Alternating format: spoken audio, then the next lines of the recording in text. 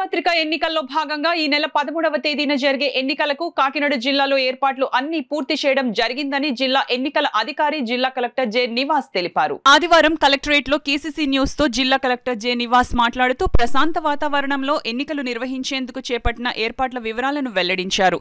పదమూడవ తేదీ ఉదయం ఏడు గంటల నుండి సాయంత్రం ఆరు గంటల వరకు పోలింగ్ జరుగుతుందని వివరించారు. పన్నెండు రకాల గుర్తింపు కార్డులతో ఓటు హక్కును వినియోగించుకోవచ్చునని జిల్లా కలెక్టర్ జె నివాస్ స్పష్టం చేశారు. అందరికీ నమస్కారం. రేపు కాకినాడ జిల్లాలో పోలింగ్ అనేది పొద్దున్న ఏడు గంటలకి స్టార్ట్ అవుతుంది. సాయంత్రం ఆరు గంటల దాకా తమ ఓటకుని వినియోగం చేసుకోవచ్చు.